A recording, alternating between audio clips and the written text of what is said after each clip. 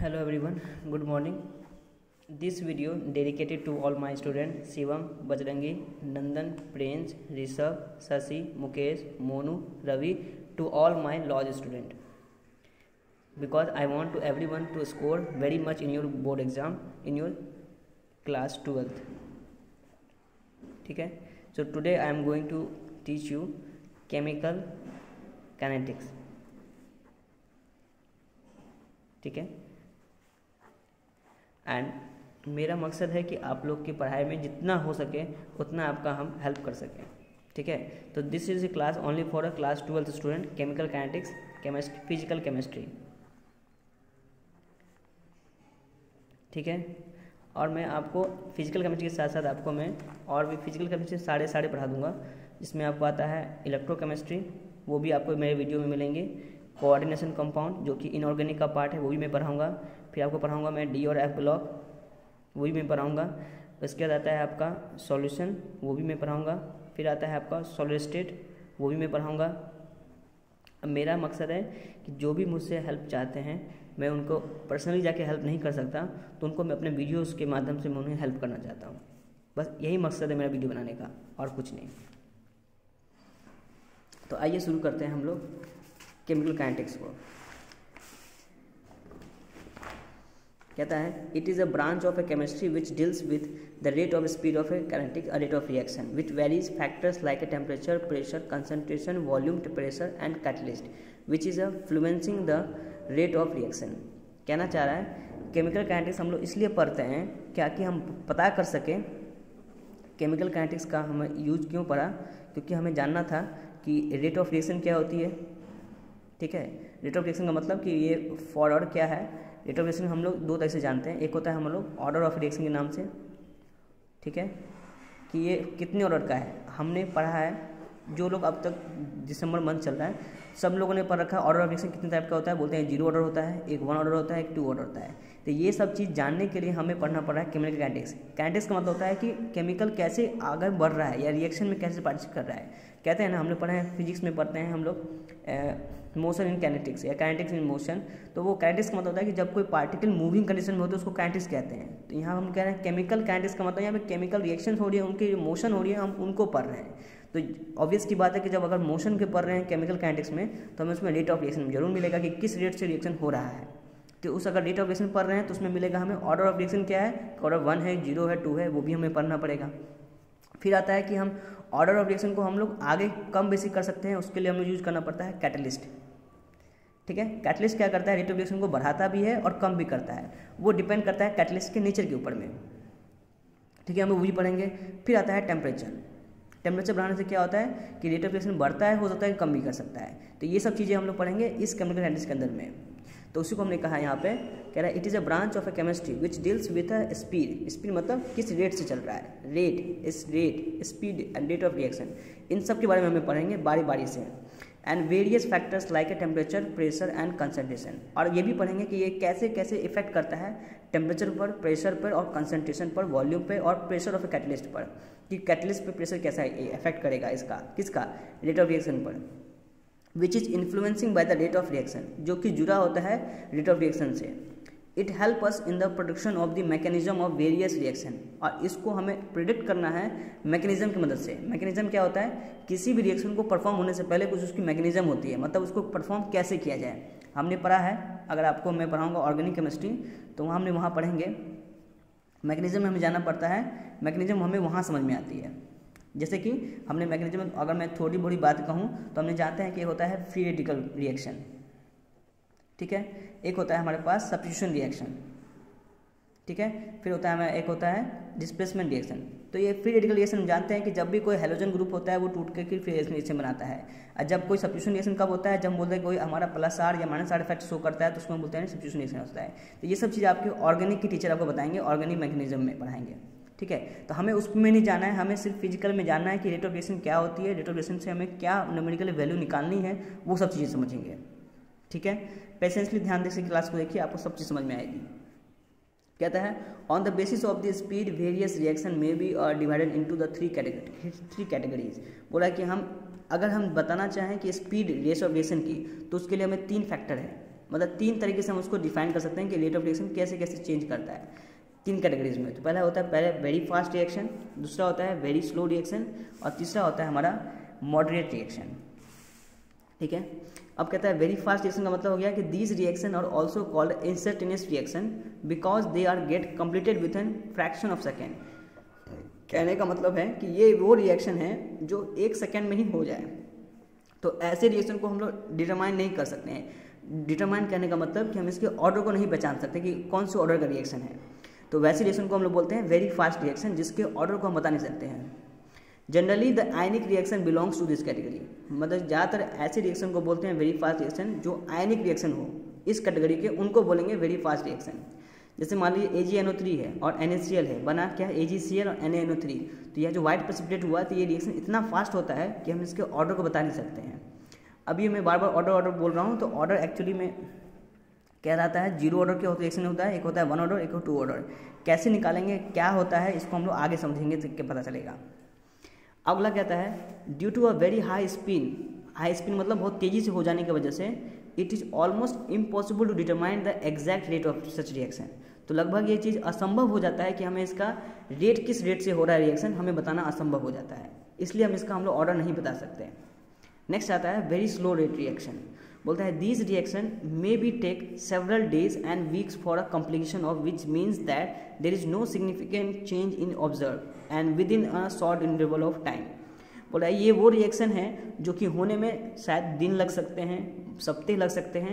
हो सकता है कि इसमें कोई सिग्निफिकेंट चेंज भी आपको ऑब्ज़र्व ना हो। जैसे कि रस्टिंग ऑफ़ आयरन क्या है? रस्टिंग ऑफ़ आयरन ठीक है? ये आपको एक दिन में ऑब्ज़र्व नहीं होगा। ये आपको एक महीने में ऑब्ज़र्व नहीं होगा। हो सकता है कि इसको सिक्स मंथ भी लग सकते हैं। ठीक है? ये डिपेंड करता है ह्यूमनस कम्युनि मतलब बोलते हैं ना, वायुमंडल में जो नमी होती है, उस पर डिपेंड करता है। तो कहता है the completion of which is a means that no significant change is observe within a short duration of time ये बहुत कम समय के लिए होता है। सॉरी शॉर्ट ड्यूरेशन का मतलब यहाँ पे छः मंथ या थ्री मंथ है। Hence it is also difficult to study about the kinetic such reaction कहने का मतलब कि इसमें हमें वेट करना ही इतना मुश्किल हो जाता है कि हम इसके रिएक्शन को ऑर्डर पहचान नहीं पाते हैं। तो वेटिंग टाइम इसमें बहुत बहुत ज़्यादा होती है। Waiting time is more more जिसे हमने वेट करके इसको हम लोग मेजर नहीं कर सकते कि ये एक ऑर्डर का है या सेकेंड ऑर्डर का है। तो ऐसी रिएक्शन को बोलते हैं वेरी स्लो रेट रिएक्शन अब आता है ठीक है? इसके इसका एग्ज़ाम्पल क्या हो गया? रस्टिंग ऑफ़ आयरन या बोलेंगे फर्मेंटेशन ठीक है? फर्मेंटेशन मतलब होता है कि वो चीज़ गल जाना पक जाना जैसे नहीं कभी हम लोग घर में ला के केला रख देते हैं घर में तो फर्मेंटेशन कर जाती है। मतलब केला जो है हमारा बनाना जो है वो क्या हो जाता है? आ, मतलब पक जाता है ख़राब हो जाता है ऑटोमेटिकली तो वो किस रेट से हो रहा है हम ये बता नहीं सकते। तो उसको बोलते हैं हम लोग फर्मेंटेशन हो जाना वो बोलता है वेरी स्लो रेट रिएक्शन है। नेक्स्ट है हमारा मॉडरेट रिएक्शन बोलता है these reaction are neither very fast not very slow ना ही ये बहुत तेज़ी से होता है, ना ही ये बहुत स्लो होता है। Which means that there is get completed within a limited time duration यानी कि ये होने में एक खास समय अवधि लगती है। Generally the molecular reaction belong to this category और ख़ास तौर पर इस रिएक्शन को पढ़ने के लिए हमें मोलिकुलर रिएक्शन हमें इस कैटेगरी में आते हैं मॉडरेट रिएक्शन में। और ये मोलिकुलर रिएक्शन क्या होता है? तो बोलते हैं कि हमने ऑर्डर ऑफ़ रिएक्शन हमने दो कैटेगरी में बांट दिया गया है। एक होता है कि हम उसमें रिएक्टेंट पे बेसिस रिएक्शन होता है, एक होता है मोलिकुलर रिएक्शन क्या होता है उसको हम लोग आगे समझेंगे। अब कहता है, क्योंकि मॉडरेट रिएक्शन का मतलब है कि इसके ऑर्डर बता सकते हैं, लेकिन ये फिक्स है। मतलब इसमें हम कुछ कह नहीं सकते कि क्या है, नहीं है। जैसे कह रखा है कि C S C C W H C two H five O H ये बनाता है C S C C W H C two H five तो बोले, ये रिएक्शन जो बन रहा है, ये है मॉडरेट रिएक्शन क्योंकि इसके हम ऑर्डर बता सकते हैं। मॉलिकुलरिटी रिएक्शन के मुताबिक मतलब कितने मॉलिक्यूल्स बन रहे हैं, कितने मॉलिक्यूल्स टूट रहे हैं, उनके मुताबिक। N two plus three S two बनता है टू एन एस थ्री के टू एस ओ टू बनता है O two three two S O three के। कैनेटिक्स में ऐसे रिएक्शन को बोलते हैं ईजिली डिटरमाइन करते हैं। मतलब ऐसे रिएक्शन को हमने ऑर्डर निकालना हमारे लिए आसान है। ठीक बात है? नेक्स्ट आता है rate of reaction next heading हमारा rate of rate of reaction ठीक है? तो मेन ये जो अभी तक हमने कहा है, ये सब के सब इंट्रोडक्शन का पार्ट था। अब जो हमारे अपने नेक्स्ट मेन मुद्दे यही है हमारा। ठीक है?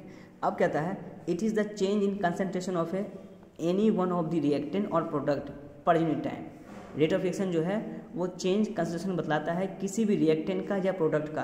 कितने टाइम में हो रहा है चेंज उसको बतलाते हैं रेट ऑफ़ रिएक्शन का। रेट मतलब होता है कि किस रेट से वो चेंज हो रहा है। तो बोल रहा है रिएक्टेंट या प्रोडक्ट का। दोनों में से किसी का भी जिस रेट से बदला है, उसको बोलते हैं rate of reaction and it is a value of always positive and it is denoted by R ये हमेशा वैल्यू पॉजिटिव होती है और इसको हम लोग आर से डिनोट करते हैं।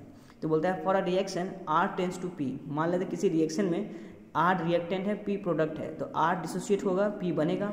तो बोलते हैं रेट ऑफ़ रिएक्शन क्या बनेगा? तो बोलेंगे delta R upon delta T के ये माइनस साइन का इंडिकेट कर रहा है कि ये पार्ट डिसोसिएट हो रहा है। और प्लस साइन इंडिकेट कर रहा है कि ये पार्ट बन रहा है।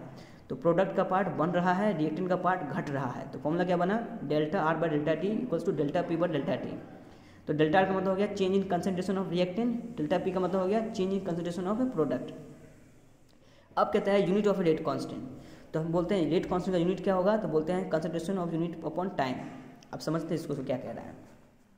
मैंने अभी कहा फॉर्मूला मैंने कहा, यहाँ से लिखते हैं। टॉपिक का नाम है हमारा rate of rate of reaction. ठीक ना? इसमें मैंने कहा, फॉर्मूला है फॉर्मूला है, rate of reaction equals to है, लिखेंगे rate of reaction is equals to होता है plus change in P, change in R, sorry, plus में है तो delta P upon delta T, अगर हम बोलेंगे माइनस में है तो लिखेंगे delta R upon delta T. ठीक है? और यहाँ लिखेंगे आर टेंस टू पी है। यानी आर हमारा रिएक्टेंट है और पी हमारा प्रोडक्ट है। ठीक बात है? तो बोलेंगे रिएक्टेंट क्या हो रहा है? डिसोसिएट हो रहा है। प्रोडक्ट क्या कर रहा है? बन रहा है। तो ये आर डिसोसिएट होकर प्रोडक्ट बन रहा है। तो हम बोलेंगे इस रेट से ये formula rate of reaction perform हो रहा है। तो फॉर्मूला क्या होता है? रेट ऑफ़ रिएक्शन का फॉर्मूला होता है change in P upon del in T ये है हमारा change in product change in product upon change in time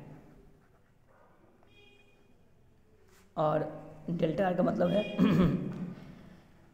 change in reactant upon change in time ठीक बात है? आइए अब इसका जानते हैं यूनिट के बारे में। तो बोलता है यूनिट का मतलब हो गया unit of a rate of reaction इसमें क्या लिखेंगे यूनिट इक्वल्स टू अब चूँकि है, ये है यूनिट लिखेंगे unit of a rate equals to हम यहाँ कह रहे हैं पी जो कि क्या बतला रहा है? कंसनट्रेशन को बतला रहा है। तो क्या लिखेंगे? Concentration of a product concentration of a product upon concentration sorry upon time concentration upon time क्योंकि पी प्रोडक्ट मतलब इसमें हम क्या लिखते हैं हम लोग? कंसनट्रेशन को बतलाते हैं। जैसे भी मोल है ना तो मोल को इंडिकेट करते हैं हम लोग कंसनट्रेशन में। और कंसनट्रेशन का सिंबल क्या होता है? इसको बोलते हैं कंसनट्रेशन का सिंबल है। इसको बोलते हैं कंसनट्रेशन इसका फॉर्मूला क्या होता है? तो बोलते हैं मोल्स पर लीटर होता है। ठीक ना? तो कंसनट्रेशन का हमेशा सिंबल क्या होता है? मोल्स पर लीटर मतलब कितना मोल बन रहा है, कितने लीटर में? अगर एक लीटर में एक मोल्स बन रहा है तो बोलेंगे इसका वन एम कंसनट्रेशन है। क्या बोलेंगे? वन कैपिटल एम ये कैपिटल एम बतला रहा है कंसनट्रेशन हमने पढ़ रखा है सॉल्यूशन चैप्टर में। एक वर्ड होता है मोलैलिटी मोलैलिटी और एक होता है मोलैरिटी। ठीक है? वहीं पे हम डिटेल में समझेंगे कि वहीं पे हमने पढ़ रखा है डिटेल में अबाउट कंसनट्रेशन का मतलब क्या होता है कंसनट्रेशन का यूज़ क्या होता है। ठीक है? तो हम कंसनट्रेशन वहीं से पढ़ रखे आए हैं कि मोल्स पर लीटर कहाँ से आया फॉर्मूला मोलैरिटी और मोलैलिटी से। उस चैप्टर से हम लोग पढ़ के आए हैं। फॉर्मूला क्या बताता है कंसनट्रेशन का? तो बोलेंगे मोल्स पर लीटर आता है। तो बोलेंगे यूनिट ऑफ़ रेट क्या बना? इस वैल्यू को यहाँ पुट करेंगे। तो लिखेंगे unit of a rate constant या बोलेंगे? Rate of reaction rate of reaction equals to moles per litre upon time तो फॉर्मूला क्या बन जाएगा? तो बोलेंगे मोल्स तो मोल्स को मोल्स लिखेंगे. लीटर के ऊपर जाएगा क्या बन जाएगा? बोलेंगे लीटर के पावर में माइनस वन लीटर के पावर में माइनस वन इंटू टाइम के पावर में माइनस वन टाइम के पावर में माइनस वन कैसे आया? दिखलाता हूँ फिर से. ये मोल्स है, अपॉन लीटर है। अब ये डिवाइड में टाइम है तो टाइम को टाइम को मल्टीप्लाई कर दो, क्योंकि ये भी डिवाइड में, ये भी डिवाइड में, दोनों डिवाइड में आ जाना चाहिए। तो लिखेंगे टाइम। तो फॉर्मूला क्या बन जाएगा?